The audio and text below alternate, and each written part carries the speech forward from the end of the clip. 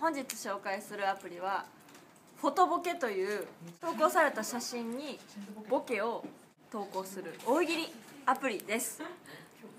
ということで今回はこちらのゲストの皆様にちょっと大喜利をやってみてもらいたいと思いま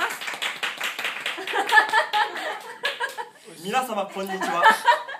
8月も下旬に近づきそろそろ夜も過ごしやすい季節がやってまいりました。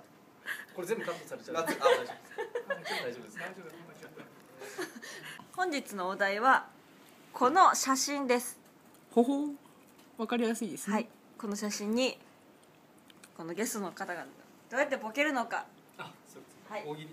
そういうこと。いやボケてない。そうですこの写真にボケてください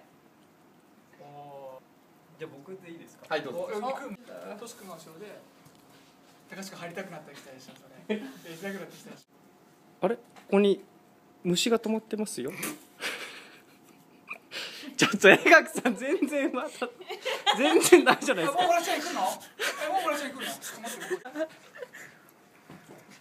の？やめるよりダイエットが早すぎやしないか。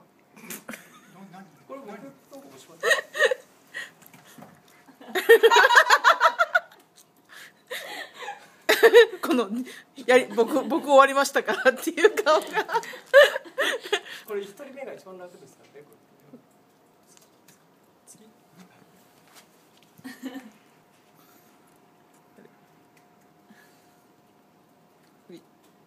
付き合ってください